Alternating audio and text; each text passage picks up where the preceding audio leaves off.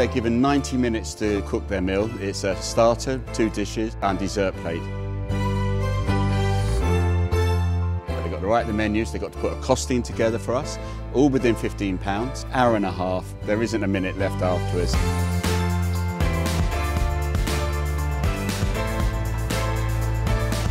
Well, I was starting as a waiter and I just saw what the chefs were doing and I just thought that's, that's something I want to do. My friend got me a job in the local cafe where she worked and I realised I loved it. When I was young, I played a lot of football, but I broke my leg, so I had to get into another industry, so I thought cooking. I got into cooking because I wanted to be a scientist, but I wasn't clever enough. Cooking's like the next best thing, really. I'm from a very small restaurant. I know some of the boys in there will be from some very established places, so I, I think the competition will be big. My dad was used to be a chef, so it's kind of in the family, and then yeah, he always told me not to do it. different chefs teach you different things, so you find the better ways that you suits you. I'm bricking it. Get set and get cooking.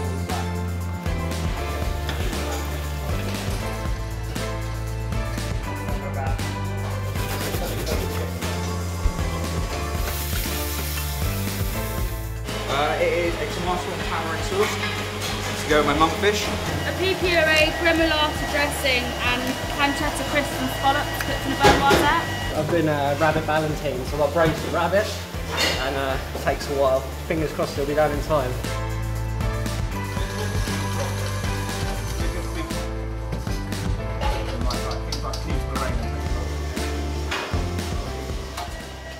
When the, the, starters came out, I mean, I was just fantastic. It was a whole array, seven dishes, seven different styles, all using local produce.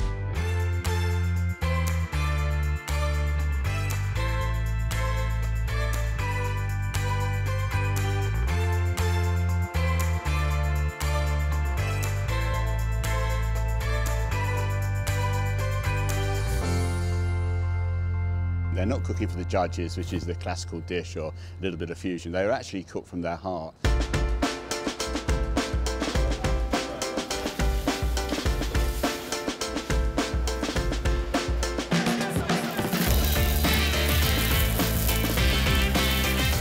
My new plate runs into here, just keeping keeping warm. The fillet's just going to sit on the Should be good. And for the whole roast first, take the breast off before I put it on the dish once it's nicely rested up.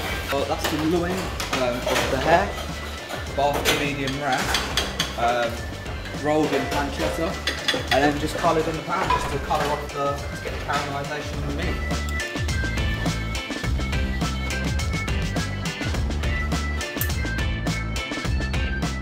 Then out came the main courses. The flavouring and actually the seasoning of these young chefs was the best I've ever tasted.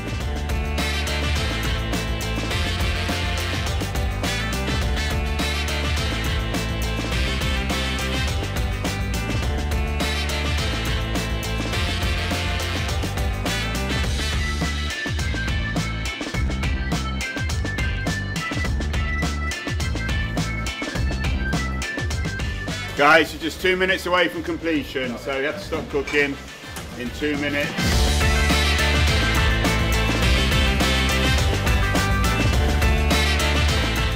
It's a microwave sponge. It's made from a soda siphon and it's cooked in the microwave.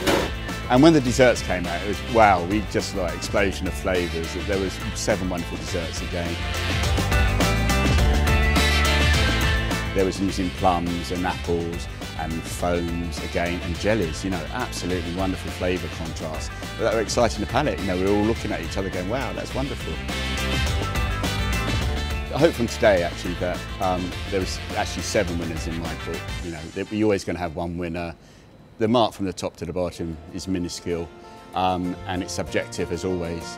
The food that's out there that's been brought in by the young chefs to me is amazing. I think they've really come off mainly in the whole in the seasonality and local sources. Yeah, Brilliant. definitely, that was very yeah, good. Yeah, yeah. don't seem to be restricted by uh, cooking for the judges. You know, there were there were experimental dishes, there were experimental techniques today that actually in a lot of more senior competitions you won't see. The chef that cooked uh, the char-grilled monkfish, local hare and wobblegate apple uh, is Dan Cotton and we'll go through to uh, the final, so congratulations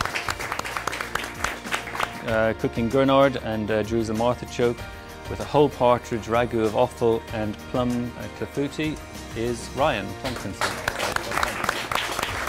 And finally, with a mackerel dish with a watercress and celery, venison chocolate and pear, and honey, fig and beer dessert, it's uh, Tim Sheed.